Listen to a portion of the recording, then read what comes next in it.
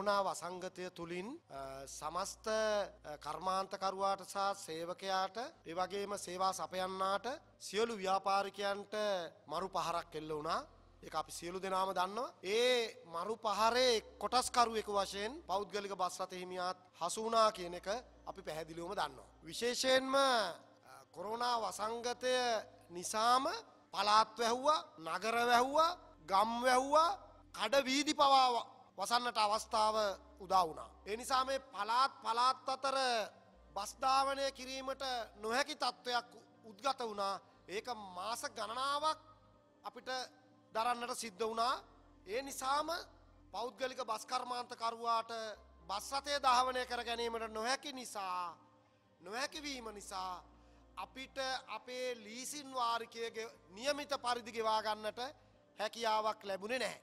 හැබැයි අපි මේ පිළිබඳව රජයත් එක්ක සාකච්ඡා කළා ඒ බලධාරින් එක්ක සාකච්ඡා කළා අපිට සිද්ධ වුණේ ආණ්ඩුව ගත්තා වූ ක්‍රියාමාර්ග නිසා රට වැැහ්වා බස්ධාවනය කරන්නට නොහැකුණා ඒ අපේ වරදක් නෙමෙයි. හැබැයි අපිට ලීසින් වාර්කය ගෙවාගන්න බැරුණා බස්ධාවනය කරන්නට හැකියාවක් නොලැබුණ නිසා.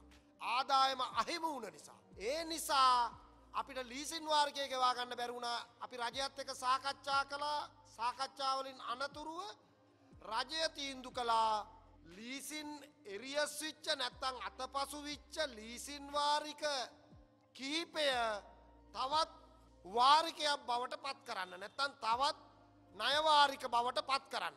අකමැත්තෙන් වුණත් අපිට සිද්ධ වුණා මේකට කැමති වෙන්න. ඒ නිසා දැන් අපිට තියෙනවා මාසයට නියමිත ලීසින්වාරිකය සහ තවත් නයක් අපිට එකතු වුණා මේ කොරුණා වසංගතය නිසා රට වහලා බස්ටික දවාගන්න බැරිවිච්ච නිසා.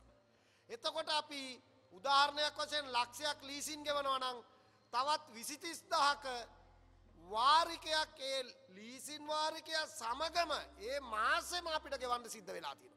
ලීසින් වාරිකය ලක්ෂයයි දැන් අපි ගෙවනවා එක් ලක්ෂ විසිදහක් එක් ලක්ෂ විසි පන්දහක් එක් ලක්ෂ තිස්දා. ගෙවන්න බෑ.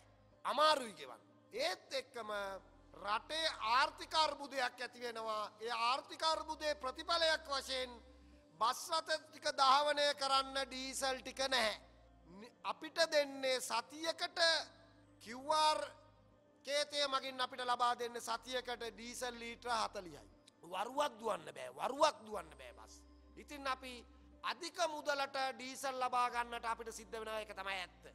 ඒ නිසාම අපිට ඩීසල් ලබා තැන් කොරෝනාව සංගතය නිමා වුණා ඊට පස්සෙනවා ආර්ථිකාර්බුදය ආර්ථික යුද්ධයනවා ඒ තුළින් අපිට බස්රතතික දහවනය කර ගැනීම සඳහා ඩීසල් නොමැතිකම බලපෑවා. දැන් එතකොට අපිට ලීසින් වාරික ගෙවන්න පුළුවන්ද. බස්සක දුවන්නතුව බෑ ගෙවන්න බෑ. හැබැයි දැන් දැම් මේ ලීසින් සමාගම් සහ ඒ පිනෑන් සමාගම් අත්තනෝමතික ලෙස කටයුතු කරමින් ලීසින්වාරික කිහිපයක් ගෙවාගන්න බැරි වුණ අපගේ අපේ ආදරණීය බස්රතහිමියාගේ බස්රතය අත්පත් කරගන්නට සූදානම් වෙනවා මේ විනවිට ශ්‍රී ලංකාව පුරා බස්රත පණහක් විතර අත්පත් කරගෙන තිබෙනවා. අපිට දැනගන්නට ලැබී තිබෙනවා බස්රත තුන්දහක් පමණ මේ රටේ ප්‍රධාන ලීසින් සමාගම් සහ පිනෑන් සමාගම් අත්පත් කරගන්නට සැලසුම් සකස් කරමින් ඉන්නවා කියලා. පිඹුරුපත් සකස් කරමින් ඉන්නවා කියලා අපිට ආරංචි ලැබිලා තියෙනවා.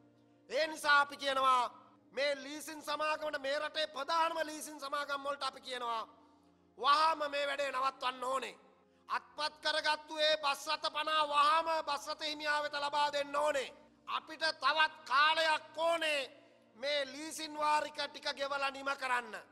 අපි මේ ලීසින් සමාගම් වලින් සහ රජයෙන් බලධාරින්ගෙන් ඉල්ලනවා අපිට දෙසැම්බර් මාසය දක්වාවත් සහන කාලයක් ඕනේ එහෙම නැතුව බස්රත ටික අපේ වරදින් නෙමෙයි මේ බස්රතෝල ලීසින් වාරික ගෙවා ගැනීමට නොහැකි වුණේ. ඒ නිසා අපි කියනවා මේ ලීසින් වාරික ටික ගෙවාගෙන යන්න අපිට මාර්තු මාසය දක්වාවත් කල් ඕනේ. සහන කාලයක් ලබා දෙන්න ඕනේ. අපිට ඒ සඳහා සාකච්ඡාවක් වහාම ලබා දෙන්න ඕනේ. එහෙම නොවෙනවනම් අපිට ගණ්ඩ සිද්ධ වෙනවා අපේ අන්තිම තුරුම්බුව අපිට ගහන්න සිද්ධ වෙනවා. අපි කියනවා ඒ ලීසින් සමාගම් නැවත නැවත අපේ බස්රත ටික අත්පත් කරගන්නවා ගන්න සැලසුම් සකස් කරනවා නම් බස්රත ටික අත්පත් කරගන්නවා නම් අත්පත් කරගත්තු බස්රත ටික නැවත ලබා නොදෙන්නේ නම් අන්තර්පලාත් බස්හිමියන්ගේ සංගමය සමස්ත ලංකා පෞද්ගලික බස්රත හිමියන්ගේ සංගමය සහ එක්සත් පෞද්ගලික බස්රත හිමියන්ගේ සංගමය ඒකාබද්ධව මේ රටේ මේ රටේ බස්ධාවනයෙන් ඉවත්වෙන්න අපි තීන්දුවක් ගනු ලබනවා මේ මොහොතේදී. ඒ මේ මස විසිපස්වනිදා අපි මේ රටේ බස්රත දහවන නිවත්වෙන්න සියලු කටයුතු සංවිධානය කරමින් ඉන්නවා. අපි කියනවා ලීසින් සමාගම්මොල්ට නෑන් සමාගම්මොල්ට බලධාරින්ට සහ රජයට වගකීමෙන් කටයුතු කරන්න අපේ ආදරණීය බස්රත හිමියාගේ බස්රතය අත්පත් කර ගැනීම වහාම නවත්වන්න ඕනේ අත්පත් කරගත්තු බස්රත ටික වහාම ලබා දෙන්න ඕනේ එහෙම නොවෙනවා නම් මේ මස විසිපස්වනිදා මධ්‍යම රාත්‍රයේ සිට අපි බස්ධාවනෙන් ඉවත් වෙනවා කියන එක බොහෝම පැහැදිලිව ප්‍රකාශ කරන්න ඕනි. ඒ කියන්නේ ඉල්ලීම් දෙකයි තියෙන්නේ ඉල්ලීම් දෙකක් තියෙන එකක් අ, සහන කාලයක් වන මාර්තු වෙනකං අනිත් එක ගත්ත බස් ටික අපව දෙන්න ඕනේ.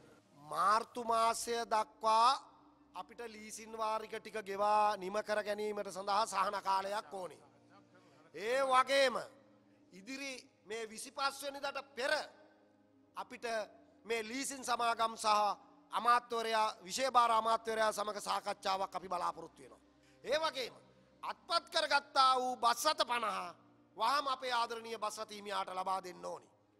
එහෙම නොවෙනවනම් විසිපස්වනිදා මධ්‍යම රාත්‍රයේ සිට අපි ශ්‍රී ලංකාව පුරාම් බස්රත දාවන නිවත්වෙන්න සියලු කටයුතු සූදානම් කරමින් ඉන්නවා කියන එක පැහැදිලිව ප්‍රකාශ කරන්න ඕනේ. ඇත්තටම මේ ලහිලහියම මේක තියන්ඩ අදිසියම තීරණය කෙරුවේ අමාරුවෙන් බස් රත ධාවනය කරනවා බැට්ටි ටයර් නැතුව අවුරුදු දෙකක් විතර ඉඳලා ටයරොල විශාල මුදලක් ටයරොල්ට ලබාගෙන ටයර් දාලා බැට්ටි දාලා සේවාව පටන් අරගෙන ක්‍රමක්‍රමයෙන් ඔළුව උත්සගෙනෙන්ට හදනවත් එක්කම ලීසින් කම්පැනි හරි අසාධාරණ වැඩක් ක්‍රියාත්මක කරනවා බස්සත උත්සන්ඩ අනේ මේ කොහෙවත් නැති මේ සීසරල ටිකට අවුරුදු තුන කාදායමක් නැතින්ද උන්ට දීලා තියෙනවා මේක මේ මේ බස් උත්සන්ඩ හැබැයිතින් අපේ බස්සිමිය ඕ උත්සන්ඩ දෙන බස්සිමියොත් ඉන්න නොදන බස්සිමියොත් ඉන්නවා.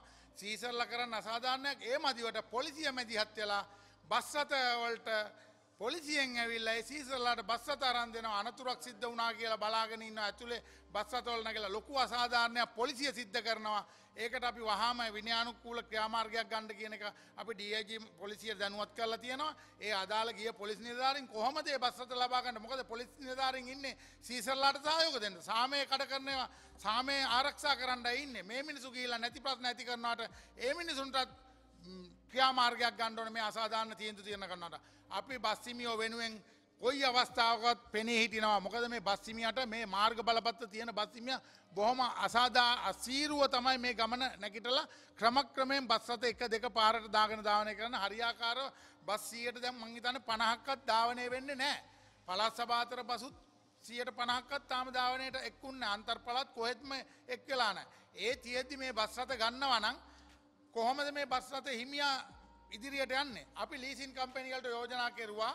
ලීසින් වාරික රෙන්ටල් පමණක් කොල මේ අරගන්ඩ මොරිටෝරියම් කියලා මිනිසුන් රවට්ටන් එපා ලොක පොලිදාන්න එපා. මොකද පුළුවන් කාල බස්සිමියෝ තමයි ලීසින් කම්පැනිවලට සල්ලියම්ප කරල දුන්න. බැරි වෙලා බස්සිමියා මිරිකන කනෙමේ හිර කරලා බස් උස්සන කනෙමේ ලීසින් කම්පැනි කරන්න ඕන. ලීසින් කම්පැනිය මිනිසුන්ට තානයක් දෙන්න වාරික ඇතුළ පොලියක් තියෙන අයි තව පොලි දාන්නේ? ලීසින් කම්පැනි ලීසින් මාපියාවක්. ඇත්තර මේක වහම නතරවෙන්න ඕන. ලංකාව ලීසින් වැඩක්න බැංකුවලින් දෙන්න ගණ්ඩෝන මොකද ලීසින් වලින් මේ ජරා වැඩේ කරනවනම් අපිට මේ පොදු ප්‍රවාහනය ඉදිරියට ගෙනියන්න බෑ. අපි තීරණය කරලා තියෙනවා එහෙම වුණොත් මේ ලීසින් කම්පැනි කොහොමද මේ තීන්දුව අරන් තියෙන්නේ? අපි එක්ක සාකච්ඡා දෙසැම්බර් ගත්තා. අපි කියනවා දැන් ඒක සාකච්ඡා කරමු. මාර්තු වෙනකන් දෙන්න මේ බස් රට හරියට හරි මාර්ගකට යන්නේ නෑ. අඩු තරම බස් රථයක් ධාවනය කරන්න නිසියාකාර ඩීසල් ටිකක් ලබා දෙන්න. ඉතින් ඒ ප්‍රශ්න තියෙදි කොහොමද බස්සිමේ ආදායමක් වන්න? කොහොමද ලීසින් ගෙවන්නේ? ඒ මදිවට බස් රථයක් අලුත් කරාගන්න රූට් බලපත්‍රය අලුත් කරාගන්න බැරි අවස්ථා බස්සිමියෝ ගොඩක් දෙනෙක් ඉන්නවා. මොකද NTC එකෙන් දාලා තියෙනවා තාක්ෂණගය කියලා ඒවා වැඩි කරලා තියෙනවා. ටෙන්ඩර් ගාස්තු කියලා ඒවා වැඩි කරලා තියෙනවා. ඒවා ගෙවන්න බෑ. මොකටද අධිවේගී මාර්ගයක් පාවිච්චි කරන්නේ ඇත්තටම බස් රථයක මගියෙකුව ඉක්මනට ඒ ගමන් පහසුව අපි ලබා දෙන්න.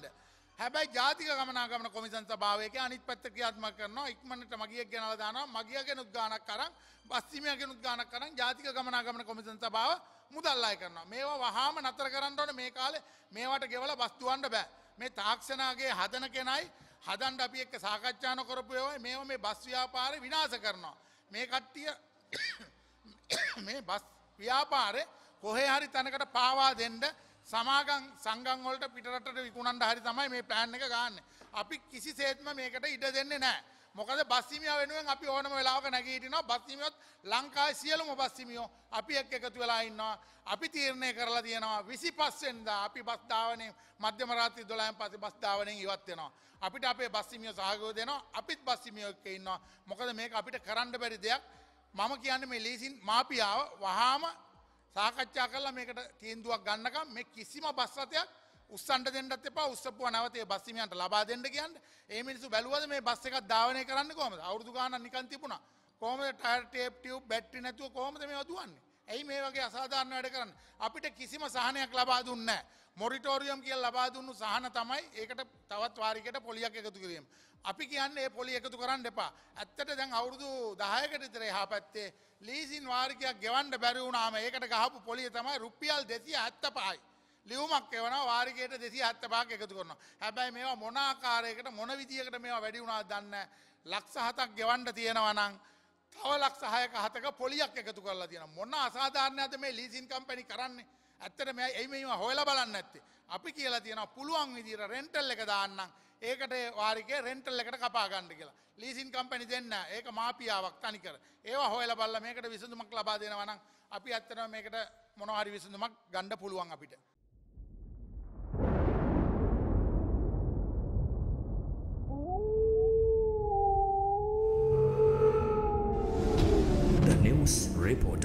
වාරණයෙන් තොර අපක්ෂපාති වාර්තාකරණය.